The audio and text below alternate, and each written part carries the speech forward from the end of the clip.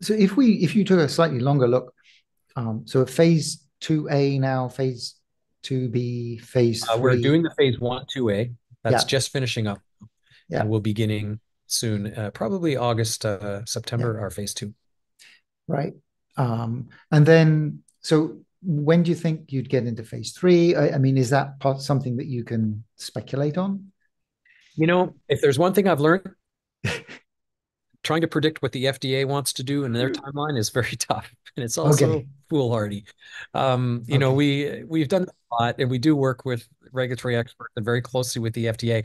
If if um uh if everything goes um, as we expect it to go from the norm of FDA behavior and application processes and policies and deadlines, then we should be uh, in the third or fourth quarter of this year beginning our metabolism clinical trial.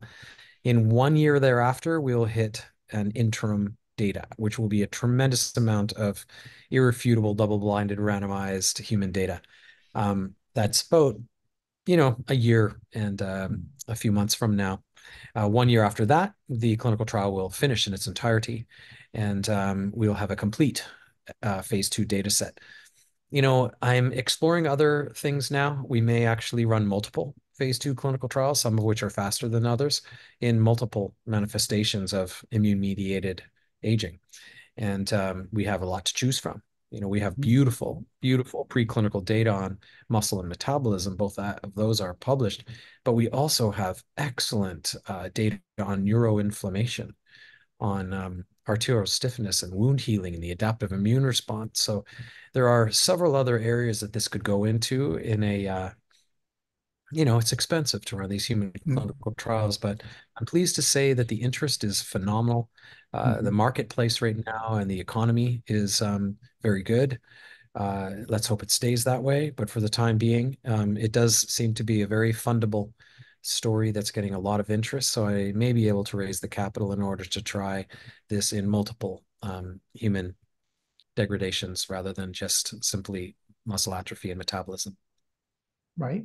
Do, do you see kind of the end point as it being systemically? So rather than fixing muscle atrophy and sarcopenia, it's like systemically being able to, I, I don't know, I don't want to use rejuvenate, but to to make more healthy Yeah. the whole human. That's my intent. You know, I I uh my team and I at Immunis are intent on a prophylactic approach. Really, you know, we're we're meaning this to be used in a prophylactic manner so that you keep your immune system strong, so that you don't get these immune-mediated de declines.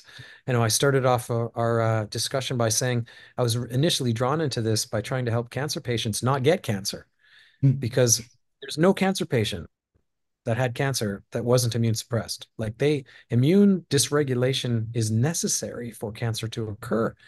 You know, I started out by really with the team looking at how do we keep the immune system healthy? And then it became very apparent that if you keep the immune system healthy, you stave off a whole lot of death and demise in a lot of different ways. You're going to not die of some bugs that otherwise would have killed you. You're going to not get cancer you're not going to generate allergies and just tie up your immune system. You know, it's a there's a bunch of things, arterial stiffness, neuroinflammation, adaptive immune response, muscle, metabolism. All of those things are very fundamental to your quality of life. And they also have downstream effects. Think about your ability to be motile and functional mm-hmm. and competent from a, a mechanistic, a motor point of view.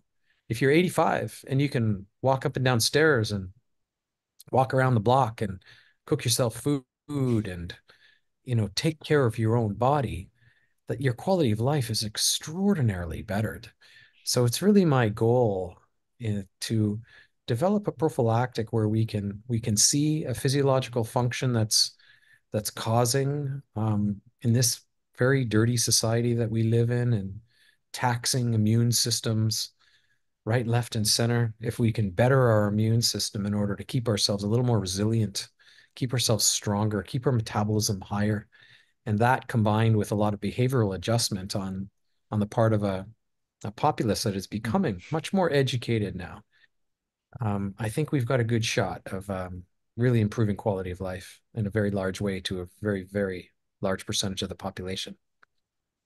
Right. So, so when you get to a certain age, I don't know, 60 or 70, then you would start like taking this, uh, as you say, prophylactically, like um, ahead Yeah, of time. I would think so.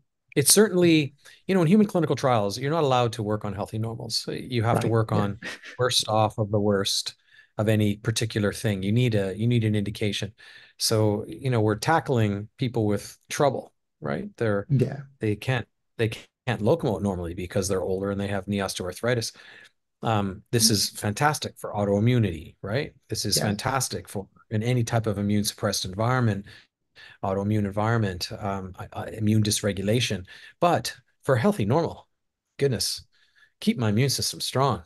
Mm. There's a lot of ways you can do it right now, but most of us don't do that. so, uh, Yeah. you know, we need to work in keeping our immune system strong. And as you get older, there's there's no amount of work that'll keep it strong. You need some help, and I I think Immuno could be the help.